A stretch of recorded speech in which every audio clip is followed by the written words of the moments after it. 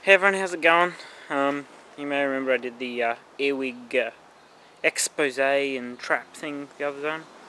Now I'm just going to show you a quick way to uh, kill them if you know where they're living. Like right now I've got a few, have like this sort of dank place under a gum tree here. Down in there, if you can see it. And um, they're living all under there. If you can see I just got one out, look at them, dead as a doornail. So I'll show you how I did that. So I have some spray uh, regular dishwashing liquid. Just gonna squirt a bit in there.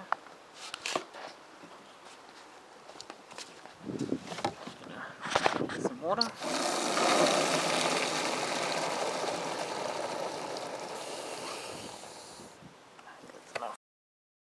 So we've got a few around here. So what I'll do is I'll just pour this um, soapy water mixture onto them.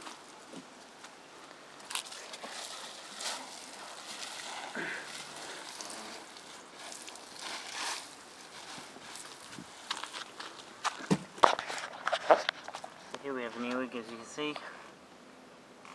Just got him then. And he's dying finally.